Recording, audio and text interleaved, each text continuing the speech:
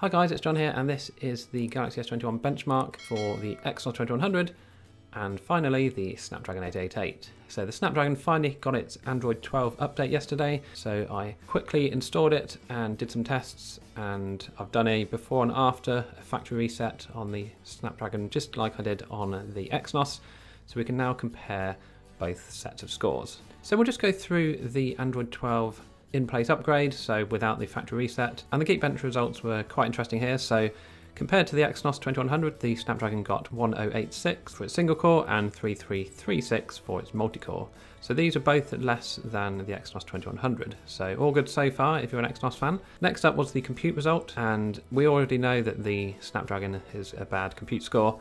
So we got a score of 4683 compared to the Exynos 7481. Next up is the Antutu benchmark test, and the Snapdragon absolutely smashed it this time with a score of 801,321 in comparison to the Exynos 765,214. So huge difference there of at least 40,000 points. Next up we have the stress test for the Snapdragon, and here we can see um, overall a much better CPU performance for the Snapdragon including its cores as well. So that was a, a win there for the Snapdragon. And then we move on to the 3D Mark tests, and we got for the wildlife test, we managed 5859, which doesn't quite beat the Exynos's 6594, but we do finally get a maxed out score on the slingshot test. Okay, and now we can actually compare the test on screen, just to prove that this is not being made up at all. And we've now got the Snapdragon, this with its fresh Android 12 install, so it's complete factory reset and everything's back to factory defaults. And we managed to score 1086 for our single core and 3545 for our multi-core. So this in both areas is beating the Exynos now.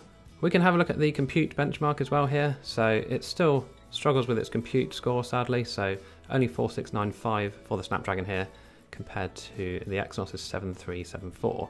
So a win for the CPU, but a loss for the compute benchmark here.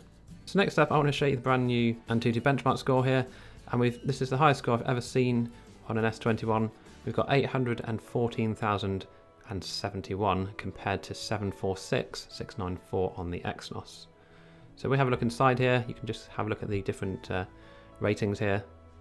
So this is really showing here that the Snapdragon is back on form in a big way, especially since the factory reset. It's actually scored even higher than it did previously. So next we can move on to the 3D Mark scores here. So wildlife test, still just 5877 for the Snapdragon compared to 6454. So we've got 38 frames per second average here on the Exynos compared to just 35 on the Snapdragon. Slingshot though, this is a really interesting one. So previously, as we know, that the Snapdragon didn't really manage a maxed out score at all throughout last year, but now we've maxed out and we've absolutely smashed the uh, FPS records here, I think. So if you look at the comparisons here, 74 versus 92, 51 versus 54. Slightly higher here on the physics test for the Exynos, 68.8 versus 59.9.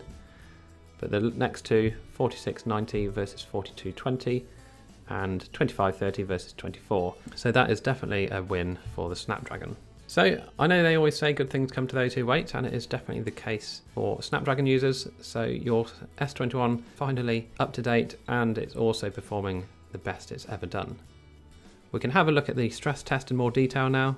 So we can see here, it's quite interesting because although the Snapdragon looks worse initially because of the up and down and the performance percentage being probably around between 60 and 80%, if you look at the cores in comparison, the cores are running faster. So we're actually running faster cores and the performance is slightly less. Now that's obviously to be expected. The faster you run, the less performance you're going to get. Whereas the Exynos is only running at around 2.2 to 2.5 gigahertz, but its performance is better at those speeds. So it does look like they've tuned it enough so that you're getting the best performance out of your Exynos, but obviously the performance doesn't mean the speed is going to be any faster.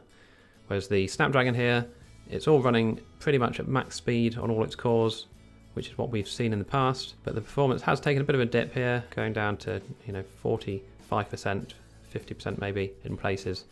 But overall, I'd still say that that is a win for the Snapdragon. So it's good to see the Snapdragon back on form again, and I think next month we've got our new CPUs coming, so it's going to be quite interesting to see how these two compare to the newer ones. Can the AMD GPU in the new Exynos actually compete against the Adreno in the Snapdragon? I don't know yet, but hopefully it's going to be a closer competition because competition is always good. It's good to have an underdog and you know someone to aim to try and beat. So if the Exynos can get anywhere close to the Snapdragon this year, then it will certainly be quite an interesting year for phones. Now we'll be doing another battery drain test for these two phones and some more gaming tests just to see how they're performing on Android 12. So just look out for those in the coming weeks. If it's not too cold, I will also go out and do a camera comparison test to see if there's been any changes at all in Android 12 to the quality of the cameras on both these phones. So don't forget to like and subscribe. You can also click on the join button, which really helps out. And if you have any questions or comments or want to post your own scores in the description, that's always interesting to see how they all compare. Thanks again for watching, and I'll see you in the next video.